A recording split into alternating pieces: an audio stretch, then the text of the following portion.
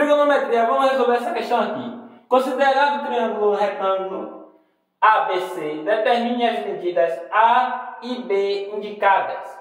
O triângulo retângulo é esse. Você tem aqui a medida desse cateto, ele quer descobrir a medida desse cateto e a medida da hipotenusa. Então, a gente tem que trabalhar uma relação trigonométrica que faça uso da, desse cateto aqui, que trabalhe com esse cateto e a hipotenusa aqui, que é o seno. Então, vamos fazer o seno. Seno de 60 graus é igual a cateto oposto sobre hipotenusa. Então, seno de 60 graus é raiz de 3 sobre 2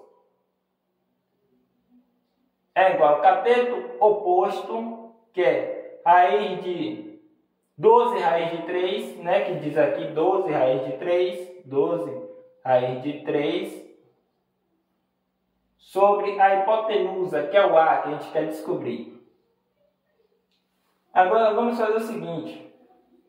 Esse A está dividindo, vai passar para o outro lado multiplicando. Esse 2 está dividindo, vai passar no lado de cá multiplicando. Então vai ficar assim.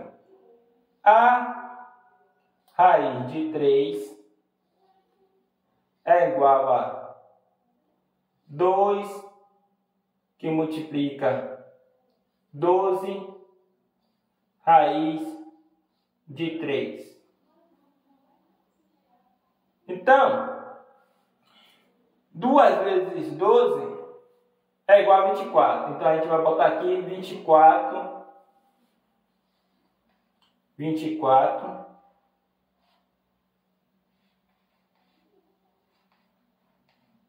24 raiz de 3.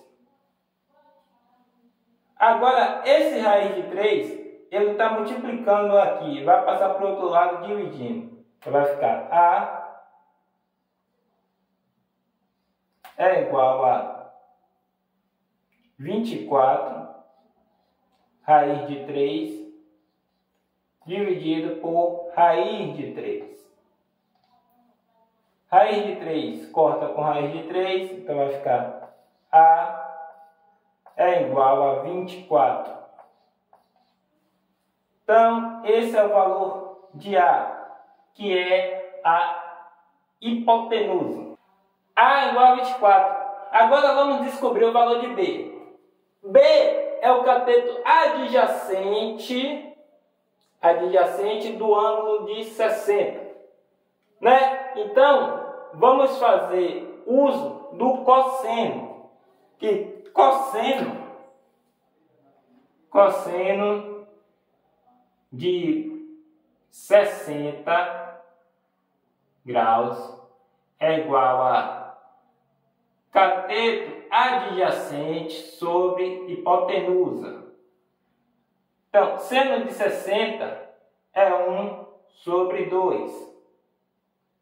É igual a cateto adjacente, que é B, dividido pela hipotenusa, que é 24, né? Hipotenusa é A, a gente descobriu que A é igual a 24. Então, 24 aqui.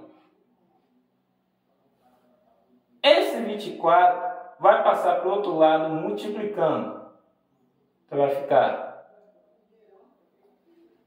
24 que multiplica 1 sobre 2 que é igual a B. Resolvendo isso aqui, a gente vai ficar com 24 vezes 1 é 24. 24 dividido por 2, 12. Então, B, B é igual a 12. Agora nós sabemos o valor de B. Então, o valor de A foi 24. E o valor de B, a gente encontrou aqui 12. E assim termina o vídeo. Ah, como é bom estudar matemática.